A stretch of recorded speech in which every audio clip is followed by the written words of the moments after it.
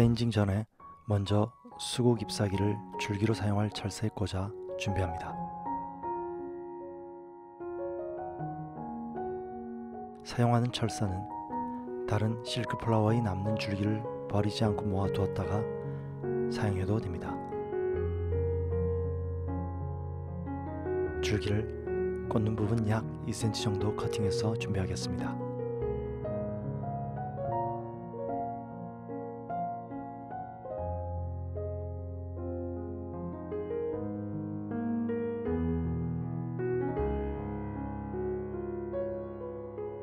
이렇게 준비된 수국 잎을 시작으로 한지를 감싼 호로랄 스티로폼에 어레인징합니다. 먼저 상하 좌우의 중앙부터 꽂고 그 사이에 하나씩 꽂습니다. 이러한 순서로 꽂으면 서로의 간격을 확인하기 쉽죠.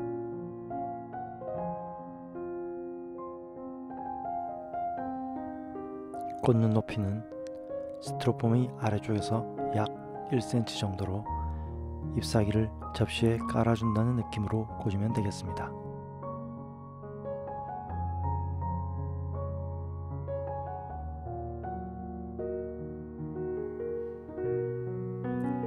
다음은 장미 잎사귀입니다. 수국 잎사귀 사이사이에 채워준다는 생각으로 꽂아주면 되겠습니다.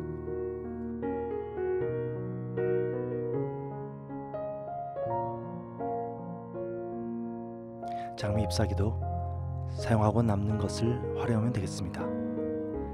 장미 잎사귀가 아니더라도 비슷한 녹색 잎사귀면 상관없습니다.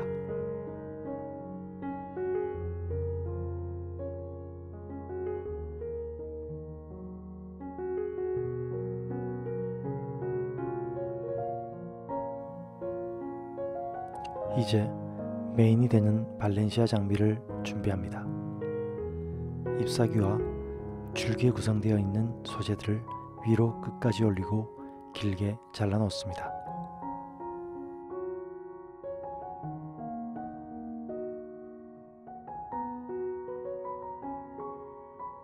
제일 예쁜 한 송이를 골라 위쪽 직사각의 정중앙에 높이 18cm가 되도록 길이를 조절하여 꽂습니다.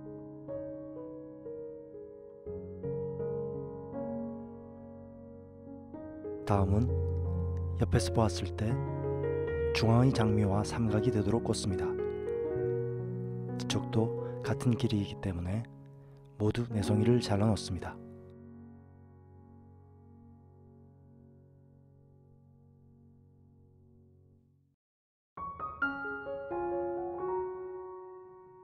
꽂을 때는 장미와 장미 사이의 간격이 일정하게 되도록 꽂는 것이 포인트고요. 자세히 보시면 줄기에 달려있는 잎사귀와 소재들이 색감이 조금씩 다릅니다. 이 부분이 일정하게 배치되거나 고르게 분산되도록 꽂아주는 것이 좋습니다.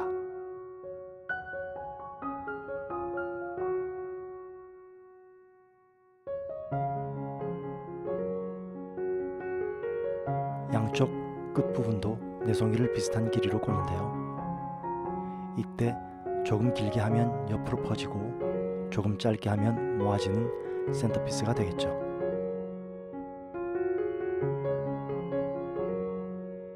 여기서는 조금 짧게 하여 돔 형식이 되도록 하겠습니다.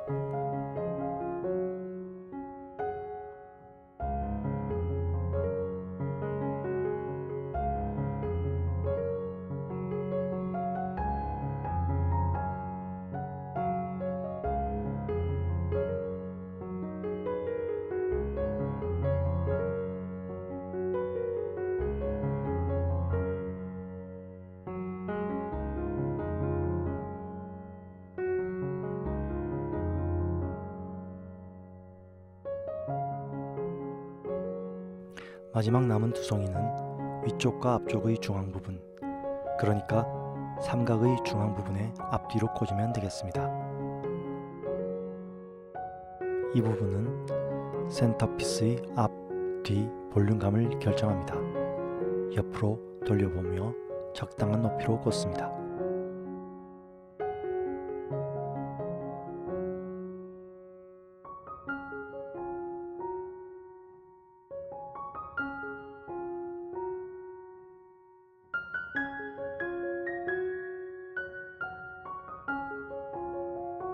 이제 수국을 꽂을 순서입니다. 수국은 센터피스의 양쪽 어깨를 담당하죠. 이 수국꽃 뭉치를 꽂음으로써 전체 부피가 결정되게 됩니다. 중앙의 마리샤 장미와 비슷한 높이로 꽂아주면 되는데요. 수국 줄기의 아래쪽에 잎사귀가 있는 곳까지 꽂으면 맞습니다.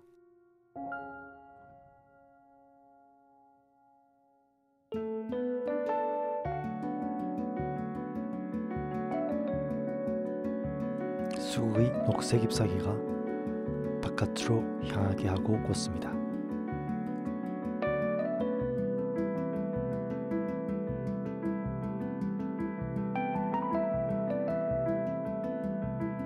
동글동글 귀여운 꽃송이를 가진 파스텔 런큐러스를 준비하겠습니다. 런큐러스는 발렌시아 장미와 수국꽃으로 만들어진 프레임의 중앙을 채워나갑니다. 길이는 마리샤 장미와 비슷한 길이가 되겠고요. 앞 뒤의 내송이가 길이가 같기 때문에 같은 길이로 준비합니다.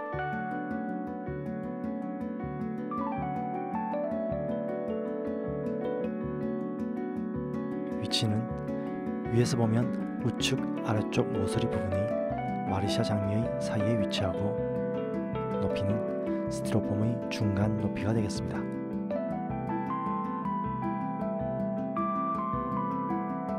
왼쪽은 그 반대가 되겠죠. 뒤쪽은 센터피스를 180도 돌리면 같은 위치가 됩니다.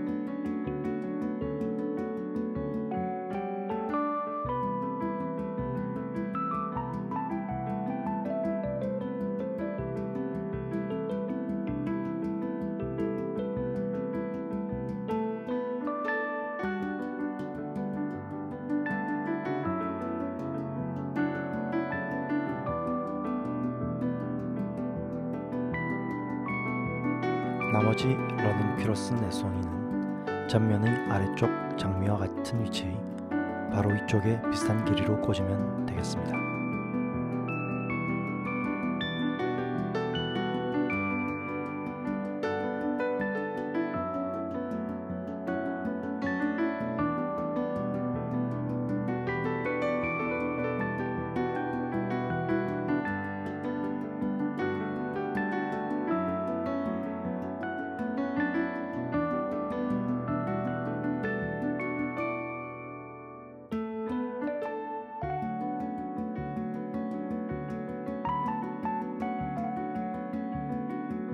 마가렛 데이지는 풍성한 느낌을 주는 꽃입니다.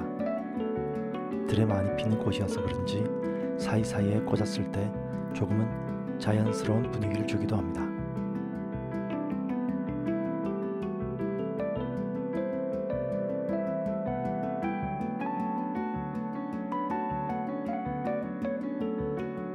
꽂는 위치는 앞뒤 발렌시아 장미의 중앙과 좌우 발렌시아 장미의 중앙 그리고 상단의 모서리 부분입니다.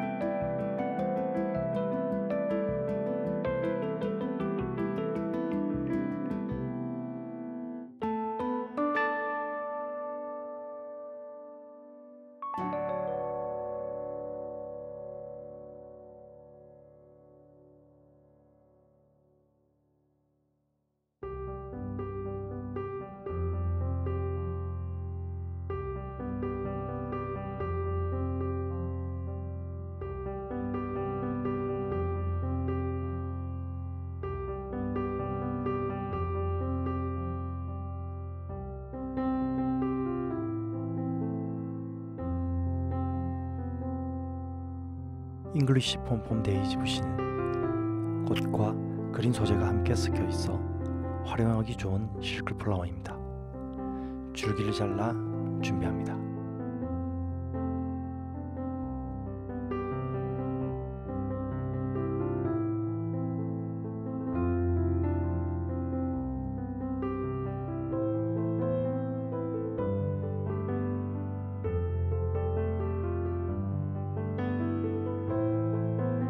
수국 아래쪽에 빈 공간에 채우고 나머지 공간도 영상을 따라 채워나갑니다.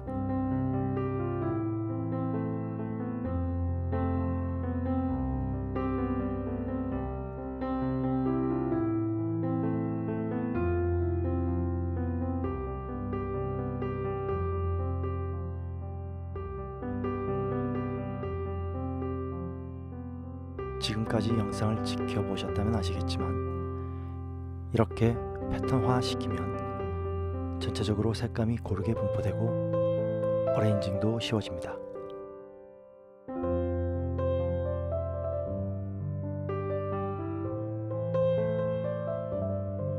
남아있는 English pompom daisy의 green 소재와 잎사귀를 빈 듯한 공간에 모두 채워줍니다.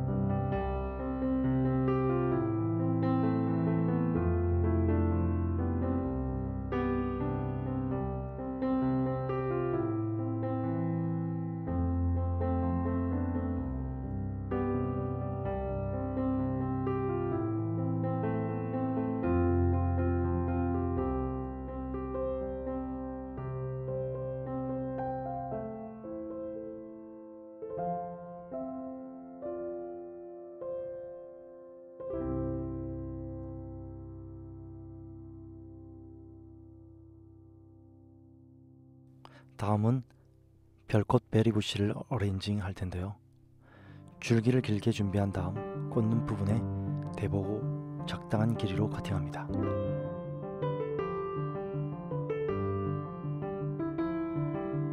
별꽃 베리를 꽂을 때는 열매처럼 생긴 봉오리를 다른 꽃들보다 조금 솟아나오도록 하는 것이 포인트입니다.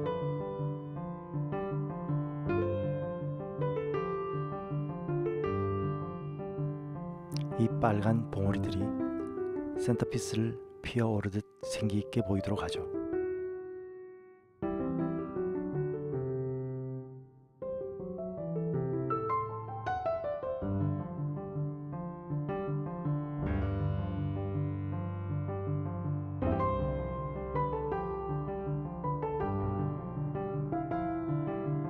냉꽃부시는 공간을 채우는 필러의 역할도 하지만 보라 색상의 꽃술이 조금은 특별할 수 있는 분위기를 줍니다.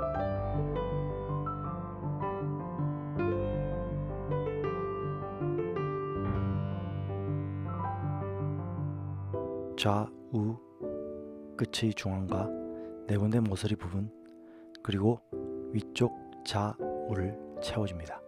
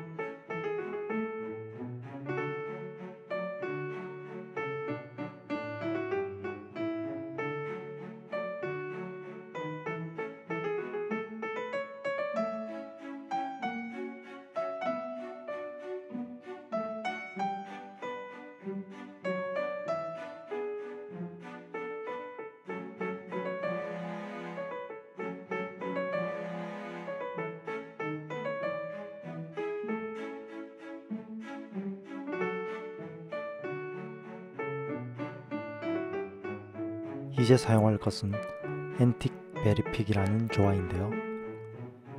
이렇게 빈티지한 조금 큰 열매는 달콤한 상상을 하게 만들죠.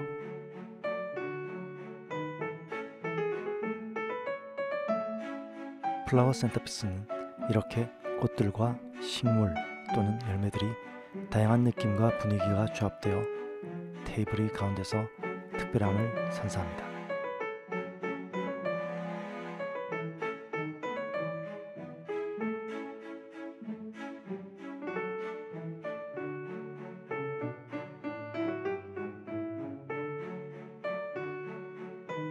이제 남은 재료는 루모라 고사리입니다. 여섯 줄기를 준비합니다.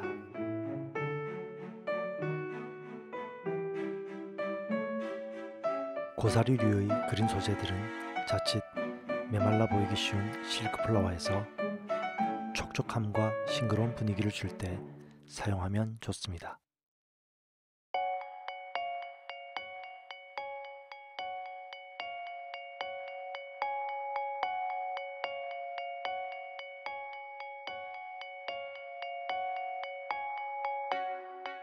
센터피스의 상단부, 중앙부, 좌우 돌아가며 꽂고 꽂을 때는 살짝 구부려 꽃들을 덮어준다는 느낌으로 연출해주면 됩니다.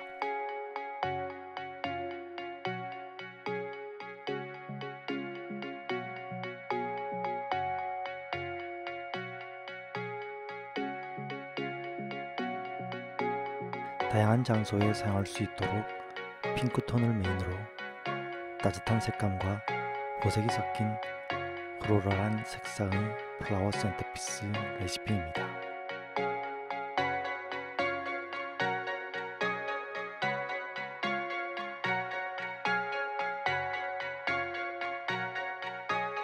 silk flower 소재들이 색감을 다채롭게 바꿔 다른 분위기의 centerpiece를 얼마든지 연출할 수 있습니다.